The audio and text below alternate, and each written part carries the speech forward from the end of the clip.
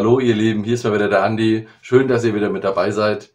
Ja, wie ihr wahrscheinlich schon gemerkt habt, äh, habe ich momentan sehr wenig Zeit, äh, neue Videos zu drehen, um die dann einzustellen, für euch neue Anleitungen zu filmen. Das hat damit zu tun, dass ich Gott sei Dank im Moment sehr viel zu tun habe. Ähm, es sind einige Projekte, die gerade anliegen, einige Planungen, die anliegen.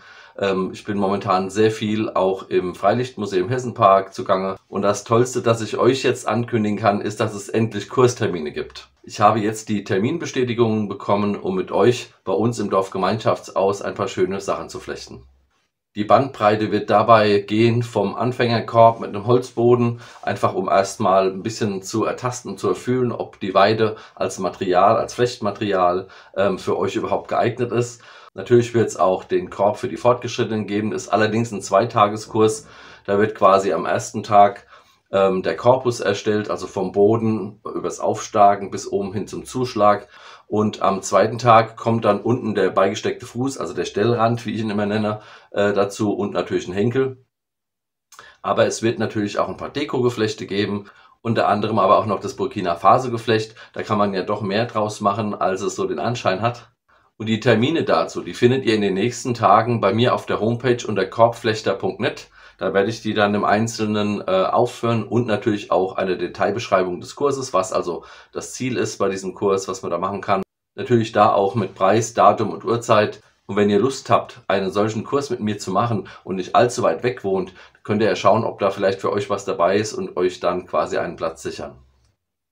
Jetzt würde ich gerne nochmal zu ein paar Fragen kommen, die mir in den letzten Tagen immer wieder gestellt wurde. Ich hatte euch in den Videos schon mal die Schlauchfolien äh, vorgestellt und da war jetzt immer wieder die Frage dazu, was das denn ist und wie sich das Ganze verhält. Das zeige ich euch jetzt mal gerade. Das sind hier solche Folientüten. Ja, die haben eine bestimmte Breite. Die kann man sich quasi dann ablängen, äh, je nachdem, wie lange man sie braucht. Also welche Weiden man hat, kann man hier wunderbar reinpacken und dann halten die eingeweichten Weiden doch ein paar Tage aus. Die gibt es natürlich auch in kleineren Abbindungen. Das ist jetzt hier eine 200 Meter lange Rolle und das sind 200 Mikrometer oder Mymeter. Ich weiß nicht genau, wie das genannt wird. Und das ist kräftig genug, dass es auch eine ganze Weile hält. Und dann kommt im Freilichtmuseum Hessenpark immer wieder die Frage nach den Weiden, die ich für die Schulklassen verwende. Das sind ganz normale Korbweiden. Das ist die Amerikanerweide. Die sind ein Meter lang. Ja, und das sind Abbindungen von immer circa drei Kilo. Den Link zu dem Händler, in dem Fall ist das Hans Ender, äh, findet ihr unten unter der Videobeschreibung. Und jetzt zeige ich euch eines meiner Lieblingsprojekte im Moment, wo ich gerade dran bin. Äh, lasst euch überraschen. Es geht nämlich hier rum. Ich habe mir nämlich ein Kammgeschirr zugelegt. Könnt ihr das sehen hier? Und dieses Kammgeschirr habe ich eingebaut in einen Rahmen mit einem Fuß. Ich habe es jetzt noch nicht aufgebaut. Diese Seilerei ist nämlich mobil und die kann ich mitnehmen auf zum Beispiel Dorffeste oder so. Und da kann ich zum Beispiel mit euch, äh, mit Kindern und Erwachsenen ähm, anfangen Seile zu drehen. Seile aus Hanf.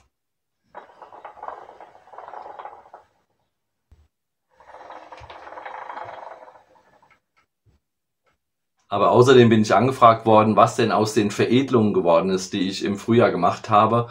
Da ist nicht alles so gut gewachsen, wie ich mir das erhofft habe, aber schaut selbst. So, man sieht eigentlich, dass man nichts sieht.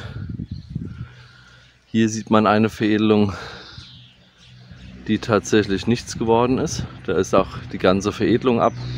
Das heißt, da werden wir hier mal die Seitenäste so ein bisschen entfernen. Hier drüben, die ist leider auch nicht gewachsen. Man kann sie hier sehen. Das habe ich mir schon gedacht. Das ist diese Pflaumensorte, die sehr, sehr dünne Reischen nur hatte. Eins davon ist tatsächlich angewachsen, wie man das hier sehen kann. Aber wir werden es trotzdem versuchen. Dafür werden hier im Grunde die Seitenäste ein bisschen abgekappt, damit die Saft, damit der Saft eben in die Veredelung geht. Ein bisschen Kallusgewebe hat es gemacht kann man hier auch sehen. Hier an der Seite. Hier an der Seite, das ist das Kallusgewebe. Genau. So, und die äußeren Äste hiervon nehmen wir auch mal ein bisschen weg. Und dann kann man hier noch eine Sommerveredelung vielleicht versuchen mit der gleichen Sorte. Da lassen die anderen einfach dran. Hier vorne ist noch eine nicht gewachsen, schade. Aber auch hier, den setze ich jetzt einfach auf den einen Trieb. Den trockenen Ast, den schneide ich dann später mal raus. Aber so kriegen wir den Saft und die Kraft in die Veredelungen, die gewachsen sind. Schaut mal hier. Das ist eine wunderbar angewachsene Veredelung. Da. Ja, wunderbar Kallus gebildet. Das Gummi hat sich schon abgelöst. Und es ist ein schöner, kräftiger Trieb geworden. So, und hier haben wir noch ein weiteres Erfolgserlebnis hier. Das ist die Renneklode, die ist hier wunderbar auch angewachsen. Hier kann man das Kallusgewebe sehen. Das wächst sehr schön, auch schon recht starker Trieb, zwei sogar. Sind wir mal gespannt, wie das im nächsten Jahr aussieht. Hier haben wir noch den separat stehenden, der in der Nähe von dem Kompost stand. Der ist auch sehr schön gewachsen. Hier unten, das sind Wildtriebe. Und hier oben, das ist die Veredelung. Das hier, das ist die Veredelung. Auch schön Kallus gebildet und hat sogar zwei kräftige Triebe ausgebildet hier. Sehr schön. Ist auch eine Renneklode. Die können wir dann im nächsten Winter umpflanzen. Aber es gibt auch ein paar schöne Erfolgsbilanzen. Zum Beispiel hier haben wir dieses Jahr wunderbar Kirschen drin. Und die Rennekloden hängen auch schon drin. Tja, wie viel hiervon am Ende dann tatsächlich durchkommt, je nachdem, was es für einen Sommer gibt, da hängt eine Menge drin, wird man dann sehen. Aber wir hoffen einfach mal, Ananasquitte.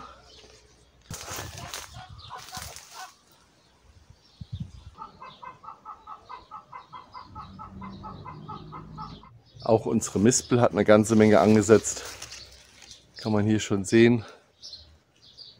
Da sind wir mal gespannt, was davon am Ende übrig bleibt.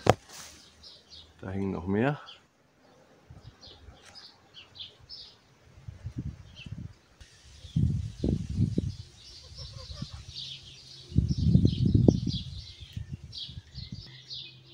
Wir sind hier gerade unter dem Hasel, da ist es wunderbar kühl, schön im Strauchschatten.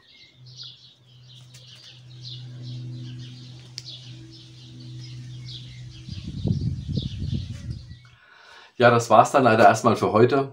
Wenn ihr noch Wunschthemen habt oder Anregungen, äh, was ihr gerne noch mal sehen würdet, entweder zum Thema Korbflächen oder aber äh, zum Thema Gartenhobby und Handwerk, dann schreibt es mir doch mal unten in die Kommentare rein. Würde mich sehr freuen, wenn ihr das tätet, äh, denn ähm, ich möchte ja Content bringen, der euch auch interessiert. Ja, einfach hier irgendwas abzufilmen, was dann im Endeffekt keinen interessiert, macht auch mir keinen Spaß. Und von daher würde ich mir wünschen, dass ihr möglichst breit gefächert Anregungen gebt, äh, was euch wirklich interessiert, dass ich dann für euch eben nochmal so eine Videogeschichte umsetzen kann. Bevor ich es vergesse, in zwei Wochen genau bin ich wieder auf dem Künstlerfest in Bad Salzhausen. Das elfte Künstlerfest dieses Mal. Da freue ich mich auch schon sehr drauf. Vielleicht habt ihr Lust und Zeit, da mal hinzukommen. Ansonsten hoffe ich natürlich, die eine oder den anderen mal auf einem der anderen Märkte zu sehen oder aber bei mir hier in einem Flechtkurs begrüßen zu dürfen, würde mich sehr freuen. Und ansonsten würde ich sagen, bis zum nächsten Mal. Ciao, euer Andi.